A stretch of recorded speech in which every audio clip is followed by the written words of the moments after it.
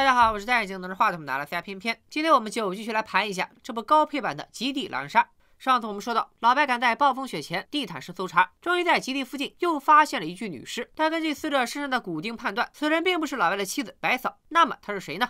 答案还是要回到故事里。幸存者对于小马目前的讲述中，极地的食人小组已经死亡四人，分别是在雪地里被人用钢刀锯下了脑袋的通讯员梁哥，在洗衣房被割掉喉咙的工程师胖胖。雪地车爆炸，顺便炸死的护士金姐，还有被老艾不小心开枪走火打死的机械师黑妞。而活着的六个人状态也不容乐观。退役小马被老艾开枪打中，虽然没死，但在腹部打了个贯穿伤。科考站冬季站长老艾杀了人以后精神失常，推门逃跑，不见了踪影。剩下的几个人，亚瑟和百草是科学家，阿秋是实验室助手，强仔是基地的厨师。他们修理不了通信系统，更没人会做手术救人。那受伤的小马怎么办呢？没人，没人，没人，没人，没人，没人。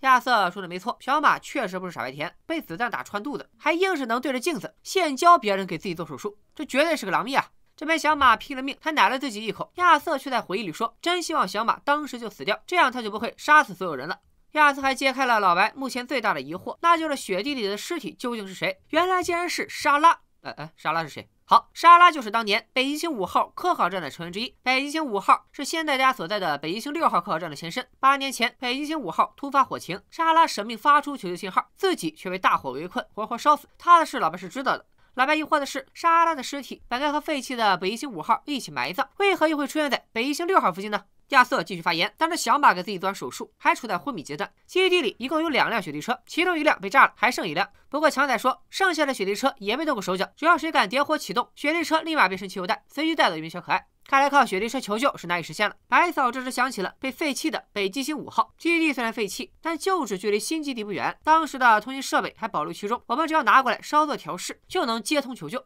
亚瑟和强仔也同意，他们都是当年北极星五号的老成员，认为北极星五号的大火并没有蔓延到通讯室，而且现在全球变暖，冰川融化，被覆盖的旧基地很可能已经重新显露。亚瑟直接拍板，就坐雪地摩托车去北极星五号，谁赞成谁反对？I'm in, I'm in, and you? 行呗，你们仨都定了，还问我干哈？客气客气吗？阿秋最终还是没有跟三个人去北极星五号，他要留下来照顾小马，不能把小马一个人留给已经疯了的老艾。哎，老艾，观众是不是都快忘了他了？这哥们在干嘛呢？他在仓库疯狂囤积电池，也不知道是要去给哪只阿拉斯加充电。白草和亚瑟发现老艾时，不敢惹这个疯子，只能央求他说，小队要去北极星五号，希望他能给留点电池，只要找到通讯设备，大家都能获救。老艾却说：“你们救得了自己，还救得了金姐吗？”而且还补了一句莫名其妙的话：“我不确定我们是否值得被救。” Eric, we'd really appreciate it. You'd share some of those batteries with us. Eric, don't come knocking at my door. 时间越发紧迫了。本来工程师胖胖是维持整个基地正常运转的人，现在胖胖被一刀割喉，过不了多久，基地的电力、保温等系统都将停运。所以，就算电池被老艾搜刮了大半，去北极星五号的计划也不能搁浅。亚瑟三人只能强行出发。老白听完亚瑟的本轮发言，赶紧联系助手，让他去搜救北极星五号，并且同时开始仔细查阅八年前关于北极星五号焚毁的新闻资料。当年北极星五号突发大火，十人小队九人在基地找到前获救，老艾、强仔、胖胖、金姐、梁哥、白嫂、亚瑟都是那时获救的基地成员。在上一集只提到名字的拉尔斯和达米安，这次也在新闻里出现。他们说是莎拉拼命顶着大火发出信号，团队才得以获救。新闻里介绍着莎拉，说她从西班牙毕业，在英国发展，不仅是出色的科学家、探险者，还有两个可爱的女儿，是个优秀的母亲。这次的事故里，她是可敬的南极英雄。新闻资料里似乎没有什么让老白意外的内容，他又来听小马的发言。小马说他醒过来之后，看见阿秋陪在床边，问了一下情况，知道了其他人去了北极星五号，立即要求上路追过去，找到他们三人。阿秋说：“你刚做完手术，伤口还没好呢，还上路上课都费劲。”小马才不管那些，他说：“我是医生，我单方面宣布我自己出院了。”行，不愧是南极地区第一狠人。在出发之前，阿秋查阅地图和关于北极星五号的资料，忽然意外地发现了一个他们一直忽略的细节：胖胖胸口上的 V 不是英文字母 V，而是罗马数字五，正是北极星五号的标志。他们三个人去北极星五号，果然不是去找通讯的，很可能是另有目的。小马则有点忐忑地询问起了阿秋的情况。他翻阅过阿秋的健康档案，发现阿秋的健康记录太完美了，干净到像是被动过手脚。上面只提到阿秋服用过乙型阻断剂，但阿秋却并没有该药物对应的心脏病史。阿秋解释说，他用乙型阻断剂是为了对付精神类药物的副作用。为了能成为亚瑟的助手，他承受了太重的压力，不停的学习考试，甚至有了偏执症的初步症状。曾经，他的好朋友为了超过他，在关键考试中作弊，阿秋情绪失控，暴打好友，直至对方肋骨断裂。后来，阿秋不得不服用精神类药物才能正常生活。这个解释在小马眼里也算合理，他便没再多问，和阿秋一起骑雪地摩托赶往了北京五号。但在亚瑟眼里，两人强行追到北极星五号的行为简直难以理解。一个女人身负枪伤，顶着零下六十度的低温，硬是敢骑着雪地摩托狂奔，就算她不是个狼人，也是个疯子。北极星五号的废墟前，几个人在拼命挖着积雪。小马赶到后，告诉大家必须要休息一下，否则汗水会冻结，皮肤里血液无法流动，到时候被冻到断手断脚，自己可能都不知道。帐篷里，厨师强仔想开一瓶好酒，他说这酒珍藏多年，再不喝可能就没机会了。苦酒入喉，尘归尘，土归土，铁锹该舞还得舞。好在挖了不久，几个人就找到了入口，门开了。亚瑟的故事却暂了个停。他觉得老白一直以来只怀疑自己和小马，是不是忽略了另一个重点——白嫂？老白只记得自己想记得的东西，却忘了白嫂也可能是案件的关键。为了得到亚瑟的研究成果，小马可能杀人，白嫂也可能杀人。当初白嫂初出茅庐，给人做实验室助手，辛苦做出来的科研成果，却要被领导独吞。导师挂名什么的，老博士生都懂，但白嫂却不愿意接受这种潜规则。她将一切公布，导致导师身败名裂。白嫂自己也失业多年，是亚瑟接触了白嫂，才让她有了今天。到了现在，还能说白嫂不会再为了科研成果做点什么？亚瑟有条冤家强开白嫂，让老白觉得很烦。他找来了当初北极星五号的建筑图，让亚瑟按照地图乖乖讲故事。视线回到了重新进入北极星五号的科考小队，他们从北侧进入，第一个到达的就是当年的起火点餐厅。当年大火当天，正是庆祝冬天结束的日出晚宴，开派对的条幅还残存在屋里。那场派对，白嫂至今还历历在目，但目前却只剩下了一块被冻住的芝士蛋糕。手电筒的电量不断降低，大家也开始仔细摸索着去寻找通讯设备。但在小马的眼里，白嫂和亚瑟的一些行为让他觉得十分异常，他们似乎在偷偷谋划着什么。Try her room first, and then, and then the common areas. 行李箱哪些东西没藏好？小马可以确定，大家确实是在找东西，不过绝不是通讯设备。但最先找到的不是设备，也不是行李箱，而是莎拉的尸体。白草对着尸体表示缅怀，亚瑟却以手电筒马上断电为由，催促大家离开。通往通讯室的道路果然没有被大火焚毁，电池电量也确实已经告急。百草提议大家分头行动，最大化的利用好电量。分头行动，多么经典的套路！这剧情梁哥表示我熟。小马越看越不对劲，直接原地躺倒，表示他伤口撕裂，再也走不动了。亚瑟三人只好离开，留阿秋在原地照顾小马。亚瑟回忆说，小马所谓的撕裂伤口，真就是硬撕，他是故意掉队的。小马也承认，他确实是故意这样的，因为他要回去查看莎拉的尸体。他发现亚瑟他们明显不希望他在莎拉尸体那里逗留，觉得其中一定有问题。他让阿秋去找通讯室，自己一人回头查找关于莎拉的细节。他检查了莎拉的房间，发现了莎拉和两个女儿的合照。经过尸检，发现莎拉的颅骨有骨折情况。他断定莎拉不是被大火烧死的，而是被人谋杀。凶手这次回来就是为了消灭证据。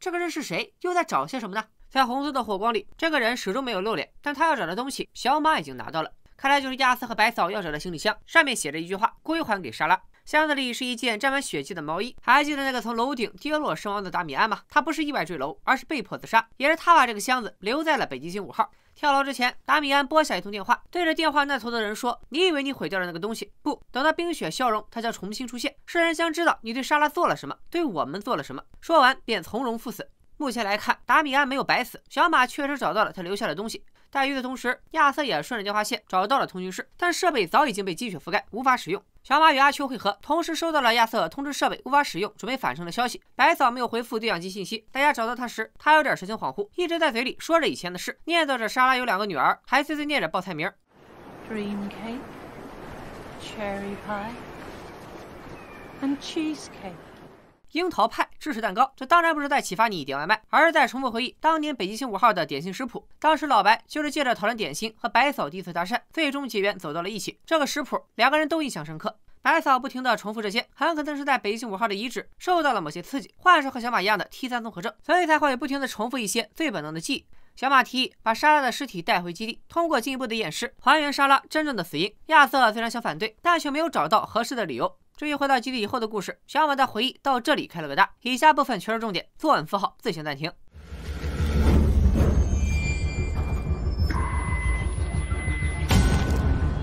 医务室里，小马把莎拉的尸体放好，拿出那件血色毛衣，并和阿秋交代了经过。小马怀疑现在活着的人里一定有一个杀手，但不确定杀手是谁。阿秋也明白了，那个人不能当众杀人，只有等到他们落单的时候。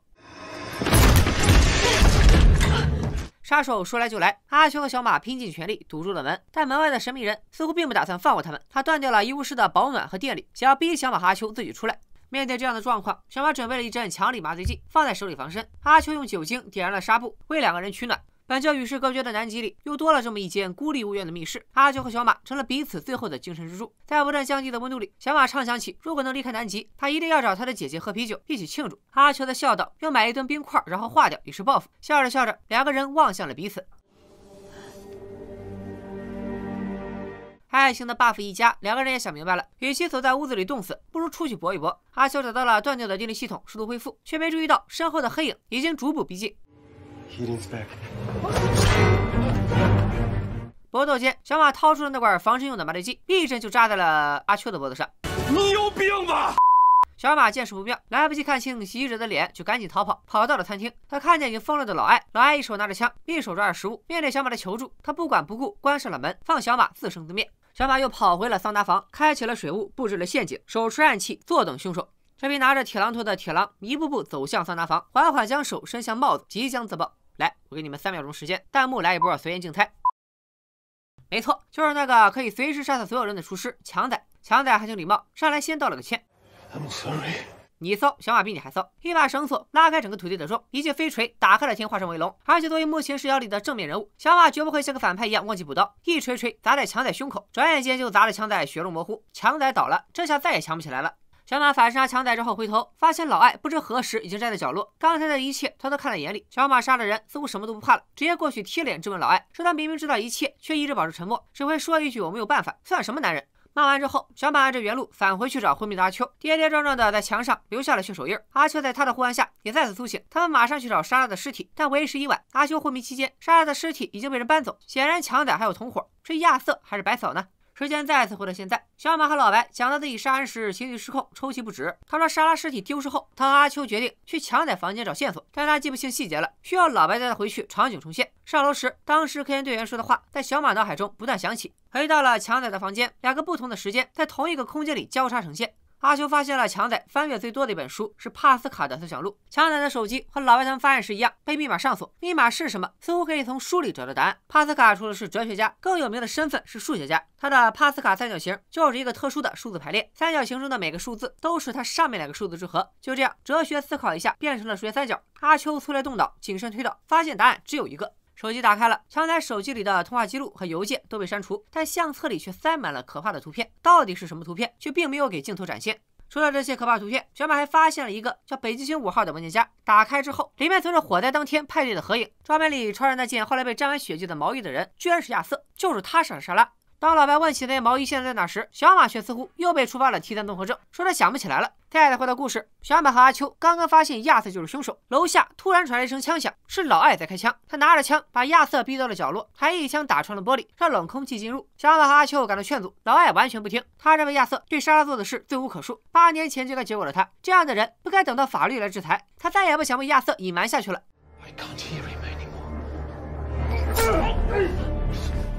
亚瑟一边辩解说自己是正当防卫，一边却捡起了枪，直指小马和阿秋。子弹打偏进入灭火器，两人趁着浓烟逃跑。亚瑟持枪追赶，小马和阿秋分头逃跑。小马慌乱之中听到房间里有人发出求救信号，推门进去是窝在角落里的白嫂，但白嫂神情依然处于恍惚状态，她的记忆似乎已经错乱。提到要找医生时，她甚至要去找已经死掉的拉尔斯。小马一把抓住白嫂，问出了那个他一直想知道的问题：八年前在莎莎身上到底发生了什么？八年前，北极星五号正在准备庆祝冬季结束，大家一起喝酒聊天，吃着强仔做的芝士蛋糕。两哥提醒莎拉有一个电话找他，让他去公共休息室接一下。莎拉还以为是两个女儿打来的，就赶紧去接。亚瑟的助手达米安还在和白嫂聊着实验的事，关于细菌的科研很顺利，但达米安却高兴不起来，因为亚瑟很可能独占实验成果，让自己和白嫂只出现在角柱里。白嫂看到莎拉离开，似乎预感到了什么，悄悄跟了上去。在休息室里等着莎拉的不是来自女儿的电话，而是亚瑟和他反复试探的性骚扰。亚瑟不停暗示自己成就了莎拉，同时也可以毁了莎拉的科研道路。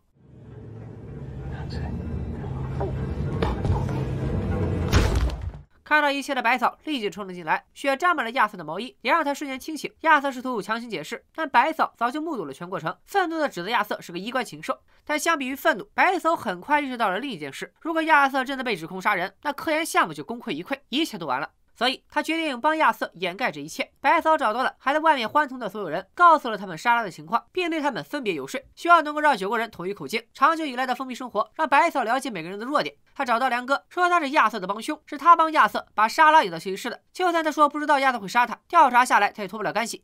他找到老艾和金姐，告诉他们如果不配合，金姐的丈夫一定会知道两人的奸情。威胁胖胖也不难，他此前被指控谋杀毒贩的事，如果在档案里暴露，他将失去南极的工作。医生拉尔斯曾偷偷售卖处方药，这也被白嫂拿着当做把柄。至于达米安，同样作为科学家，他们本就是利益共同体。白嫂还找了强仔，因为他偷偷跟踪了强仔的下载记录，如果记录被公开，足以让强仔失业。这个下载记录估计和强仔手机里那些可怕的图片有关。原片最终也没有交代强仔手机里到底有什么不可告人的秘密，大家可以在弹幕里猜一波。就这样，九个人整理了科研资料，慢慢走出科考站，点燃了引线，一场人为制造的大火埋葬了莎拉。后面的事情就都是新闻里的样子了。白嫂的故事讲到这儿，小马皱了皱眉，问白嫂：“你这么做动摇过吗？犹豫过吗？”白嫂沉默了。同样沉默的还有听到小马转述的老白，他望着基地里妻子的风铃，想明白了所有事。记得当初接到那通电话，正是达米安的临终遗言。达米安忍受不了折磨，跳楼自杀，但死之前却留下了那件他在案发时趁亚瑟不注意拿走的毛衣。老白烧掉了字条，这次他知道百草说的沾满鲜血是什么意思了。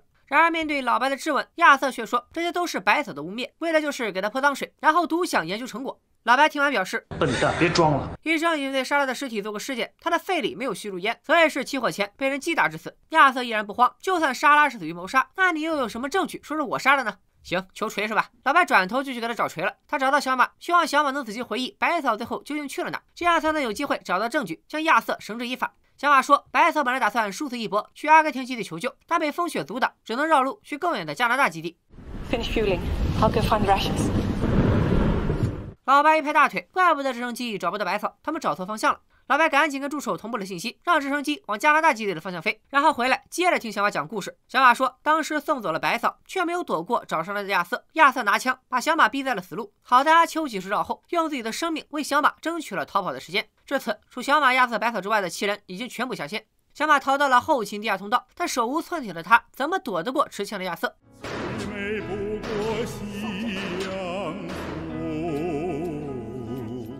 哦，还真躲得过。小马躲进了厨房，亚瑟被困在了地下。故事再次回归起点，唯一的问题是白嫂依然失踪。最终，直升机发现了一辆雪地车，在地基附近二十四公里处。老白一听到消息，甚至等不到直升机降落，就立即赶了过去。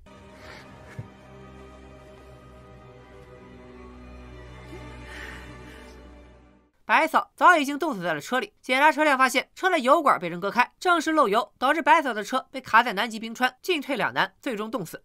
老白带回了白嫂的尸体，同时带回的还有亚瑟求的锤。那件带血的毛衣就塞在白嫂的座椅下面。老白觉得这是白嫂留给他最后的东西。他拿着毛衣再去找亚瑟，揪着亚瑟的脖子质问他为什么割开了白嫂的油管。亚瑟还想辩解，但老白的尸锤让他立刻闭嘴。他知道毛衣是自己的，血迹是莎拉的，有些地终究还是洗不干净的。Your reputation is over. Your life is over. 警察赶到，亚瑟把自己穿戴整齐，准备好了做一个交代。响动声被警察发现，亚子还是被救了下来。铁狼终究还是被出了，法律会给他最终的答案。一切尘埃落定，老白把小马的私人电脑还给了他。小马不再是嫌疑人，但一系列惊悚事件带给他的阴影仍然没有抹除。T 三综合症仍在。系鞋带时，小马甚至连手指都在颤抖。望着来帮他系鞋带的老白，小马感叹着说道：“If something happened to someone I love, I don't know what I'd be capable of.” 小马不知道会做出什么，他可知道的很清楚。老白走后，小马慢慢锁好了门，打开了电脑，视频接通。另一头是他的姐姐，姐姐没有叫他小马，而是叫他奥利维亚。如果觉得这个名字不耳熟，我们可以回看一下。小马没有撒谎，当初老白问他为什么来南极，他说是妈妈的遗愿，确实是实话，因为他的妈妈就是惨死的莎拉。亚瑟也没撒谎，小马的档案确实有问题，查尔斯也是小马开始撞死的，这些他早就告诉过老白。老白不知道的还有，梁哥出门巡逻是小马给了他背后一击，胖胖被绑在了洗衣房是小马补了最后一刀，强仔是小马一下一下锤死，接姐的爆炸是小马背后操控。八年前面对莎拉的死，他们选择沉默，他们每个人都是帮凶。八年后，他们每个人都和莎拉死在了同一片土地。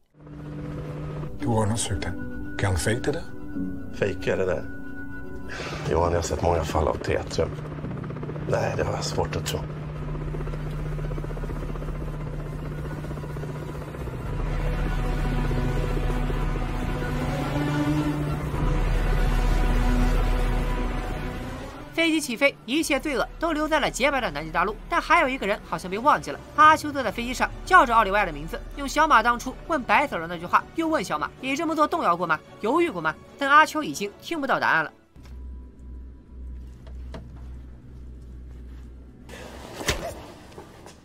小马回想起这些，表情十分平静，就像当初的白嫂，沉默着回答他的问题。小马也用沉默给了阿秋一个回应。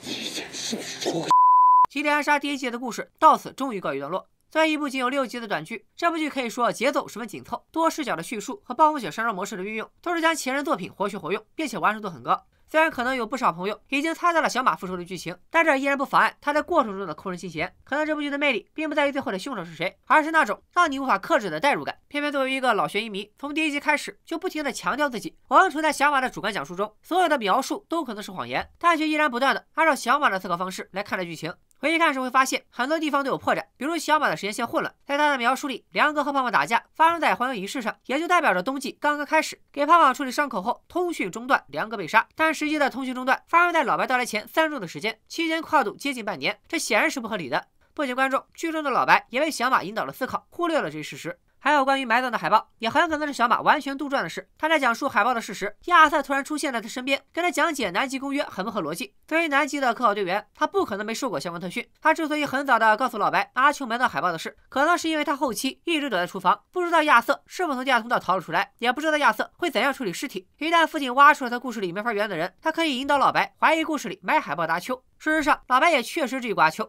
小白的高明在于他在完全不知现状的情况下，处处提前埋伏。在他的故事里，所有人似乎都可以甩锅。老艾偷换了抽签，强仔蒙面偷袭，白嫂亚瑟鬼鬼祟祟找箱子，就连男朋友阿秋也早就被埋了一手梁哥死亡时的在场证明和有精神疾病的前科。亚瑟罪无可恕，但阿秋和黑妞又有什么罪呢？小马导致他们惨死冰雪之中，甚至没有一丝内疚。在南极，他是不是也已经变成了那个当年的白嫂？最后有个地方想提一下，片中小马做手术的情节并不是凭空想象，现实中还有更猛的人。一九六一年四月，前苏联医生列昂尼德·罗格佐夫在南极科考站突发急性阑尾炎，但基地内只有他一名医生，于是他对着镜子自己给自己开刀。这里经历一百零五分钟的手术，最终真的获得成功。他救了自己的同时，也创造了当时医学上的奇迹。同时，还有一件事也不是凭空想象，那就是在高校科研中，学科领头人对后辈的压榨和性侵犯。有些事情新闻可能忘了，但人没忘。二零一八年四月，一篇北京大学李悠悠实名揭发长年学者沈阳的文章，揭露了一桩二十年前的悲剧。北大中文系九五级女学生高岩多次遭受导师沈阳性骚扰后，反被诬陷主动勾引，痛苦不堪，选择自杀，而导师却一路提升职称，位列长年学者。